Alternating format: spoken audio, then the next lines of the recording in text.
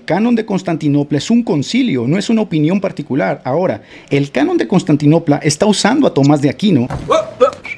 El canon de Constantinopla está usando a Tomás de Aquino, al que tú simplemente has omitido. Disculpa, Pacheco, pero ¿cómo dice?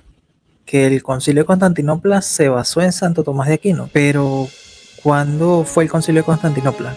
¿En qué año o en qué siglo? Cuarto concilio de Constantinopla en el siglo IX en el numeral 655. Ah, entonces Santo Tomás de Aquino viajó en el tiempo o cómo? Porque Santo Tomás de Aquino es del siglo XIII. Entonces, ¿cómo pudo basarse un concilio del siglo IX en Santo Tomás de Aquino, que es del siglo XIII? Creo que te fallaron los cálculos. Mientras estábamos en el futuro, encontró ese libro, robó la máquina, regresó en el tiempo y se dio el libro a sí mismo en algún punto del pasado.